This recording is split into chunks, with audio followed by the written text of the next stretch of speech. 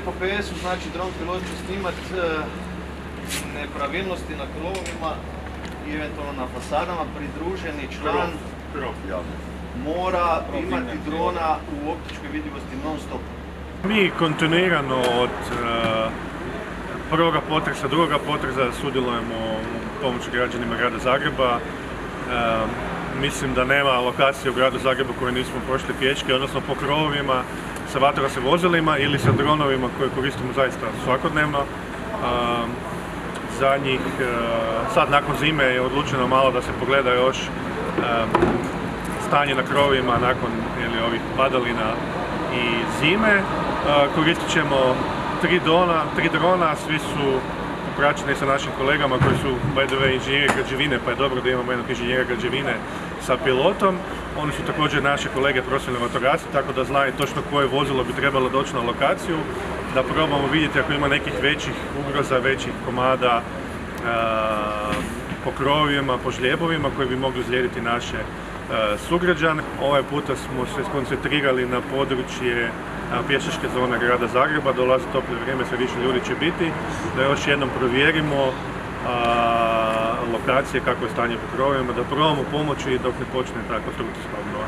Eventualne znači e, elementi koji na krovovima bi trebalo hitno ukloniti ili koji rade ugrozu, javite odmah bazi da se e, preko baze pošalje iz postrebe eventualno vozilo koje će skinuti koje su te hitne elemente za koje ugrozu.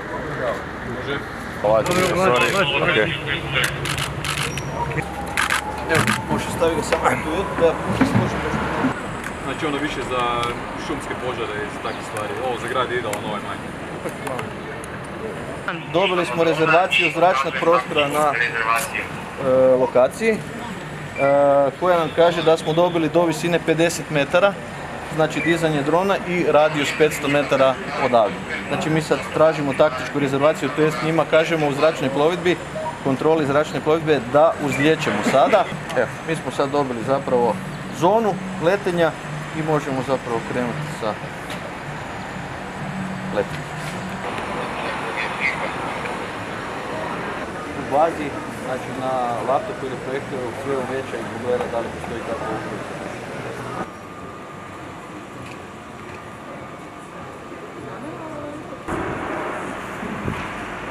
Kaj veli dron? To budu ovi bazi analizirali. Najviše paziti da u slučaju, ipak je to letjelica koja može imati tehnički problem, da vam ta letjelica nekoga u bilo kojem situaciji da se desi da vam ne ozlijedi